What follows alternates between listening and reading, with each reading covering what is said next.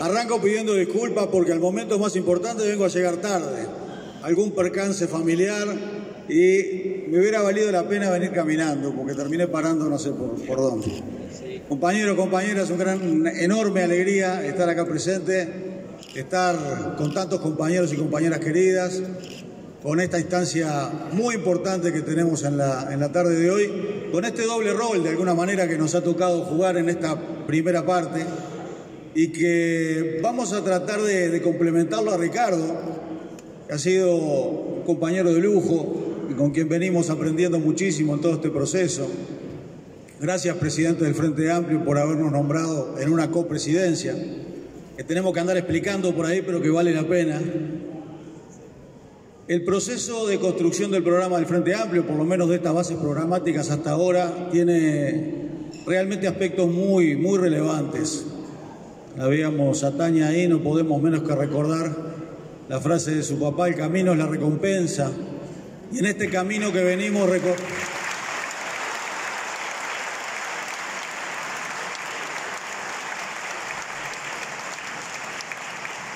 Y en este camino que venimos recorriendo ya tenemos recompensas.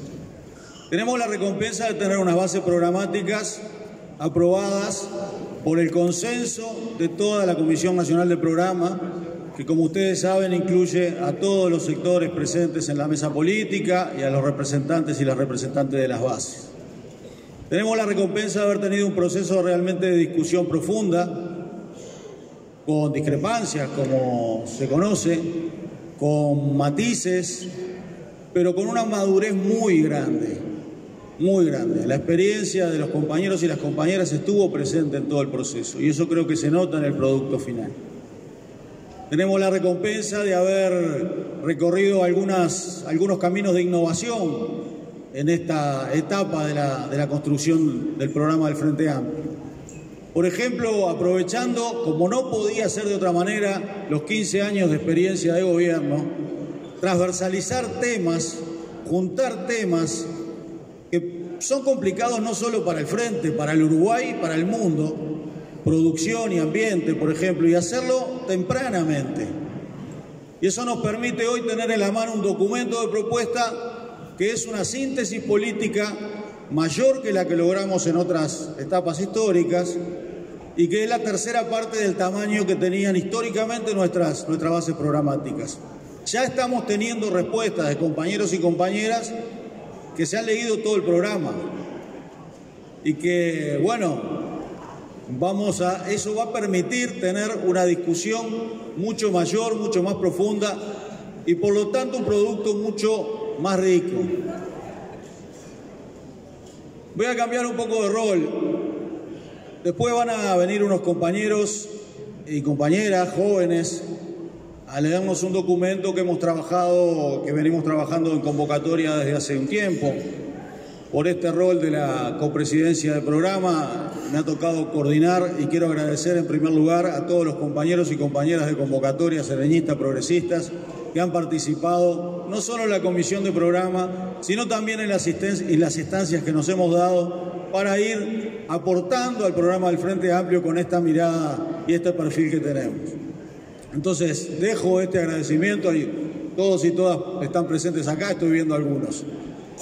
Eh, siempre entendemos que este, esta base programática que el Frente va a discutir y que va a aprobar en el Congreso de diciembre deben ser el inicio de un nuevo ciclo de, de, políticas progresistas, de un nuevo ciclo de políticas de izquierda en Uruguay, cuando el Frente Amplio gane las elecciones y asuma la presidencia de la República y el poder en el Uruguay a partir del 1 de marzo de 2025.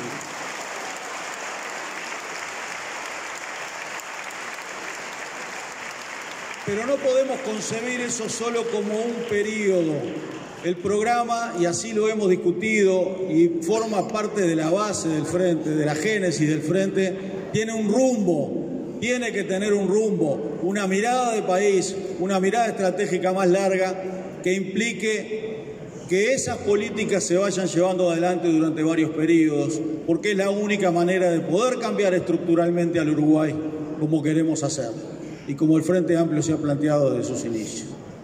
En ese sentido, tenemos importantes avances. Yo voy a decir algunas de las cosas que me parecen más relevantes a la hora de encarar este nuevo ciclo de políticas progresistas en el Uruguay. Una de ellas es un acuerdo sobre hacia dónde queremos ir, sobre esa mirada de desarrollo, un desarrollo integral. Durante muchos años se estableció nuestra región y ahora parece que los vientos en Argentina vienen para el mismo lugar, una suerte de mirada que la economía resolvía todo. La economía es muy importante, es muy importante, son los cimientos, pero no es todo. En algunos momentos se pensaba a, este, a que la economía traccionaba. Este propio gobierno lo plantea cuando habla de que los Maya Oro tiren adelante y después todo el resto de los problemas se solucionan automáticamente. Sin embargo, nosotros no, con nosotros como frente siempre hablamos, y recuerdo claramente al querido compañero Danilo Astoria, a quien le mandamos un abrazo a la distancia, Danilo.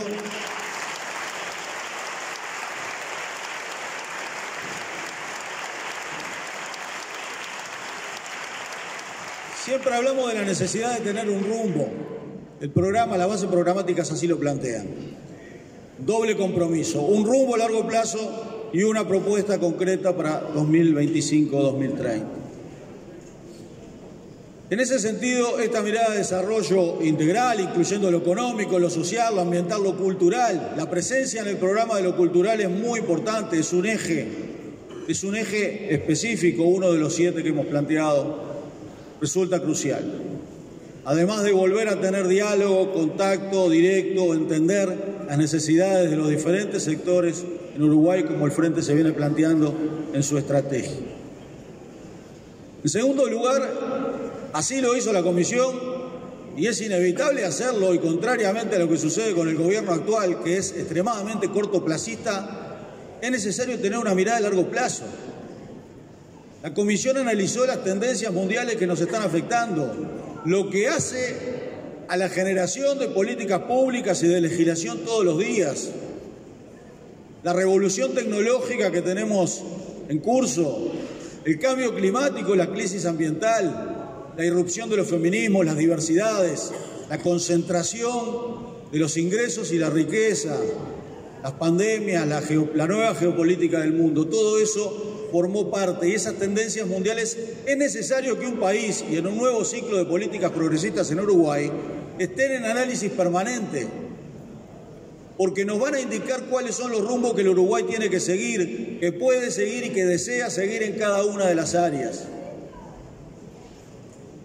Esto implica planificación, está dicho en las bases programáticas.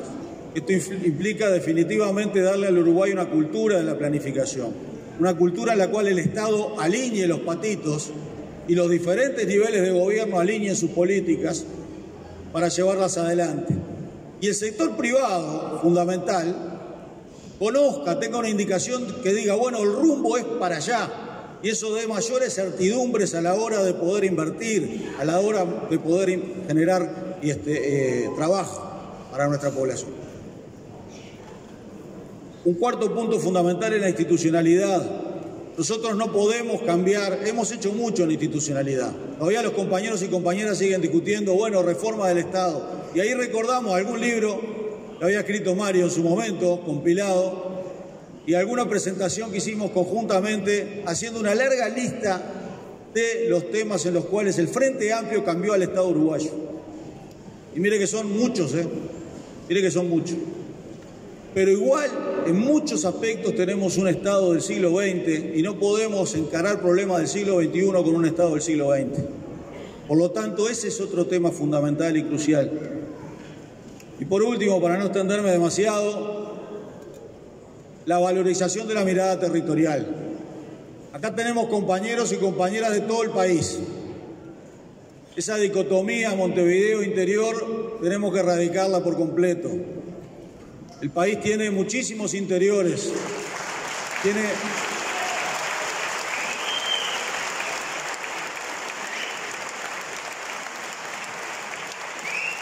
El país, el país tiene muchísimas realidades y recorriéndolas nos queda mucho más claro cuánto tenemos que hablarnos entre los uruguayos y las uruguayas para contarnos cómo es el Uruguay en sus diferentes lugares. Y cada lugar tiene una solución diferente. Nosotros avanzamos mucho en un tercer nivel de gobierno. Lo seguiremos haciendo, tendremos que discutir mucho para ello. Ese tercer nivel de gobierno puede poner en cuestión que tengamos que tener 19 departamentos en el Uruguay, porque estos han sido consecuencia de una evolución histórico-política que no necesariamente tiene que ser la más funcional el día de hoy. Pero tenemos la posibilidad real, como ya lo hizo el Frente Amplio, y estoy mirando a Liliana acá, en su programa del corredor de pájaros pintados, por ejemplo, en establecer programas regionales que tengan en territorio una potencia importante a la hora de cambiar las cosas y que abarquen mucho más de un departamento, con problemáticas comunes. La problemática de la frontera, compañeros. El tema que estamos teniendo hoy en la frontera con Argentina, que uno va para cualquiera de los departamentos del litoral y encuentra voces con toda razón planteando esa problemática. Eso es un tema. El programa Región Centro que hicimos en la OPP que eliminó este gobierno a raíz y a caballo de lo que es la inversión de UPM en el centro del país, con afectación en el centro y en todo el noreste. Entonces, con todos estos elementos, que son algunos de ellos, todo el frente va a, transitar juntos. Vamos a recorrer un camino de discusión ahora hasta el Congreso de diciembre. En el Congreso de diciembre vamos este, a, levantar un nuevo programa del Frente Amplio para un nuevo ciclo de políticas progresistas. Vamos a definir las precandidaturas, nosotros vamos a estar haciendo nuestro aporte luego y vamos a estar escuchando a Mario acerca de temas de estos y muchísimos más. Y vamos a lograr, vamos a tener un año 2024 muy agitado. Pero el Uruguay va a ser ejemplo de nuevo, el Uruguay va a poner en su eje a la gente y va a tener a partir del primero de marzo de 2025 un gobierno como el Uruguay, como la gente del Uruguay se merece. Muchas gracias, compañeros y compañeras.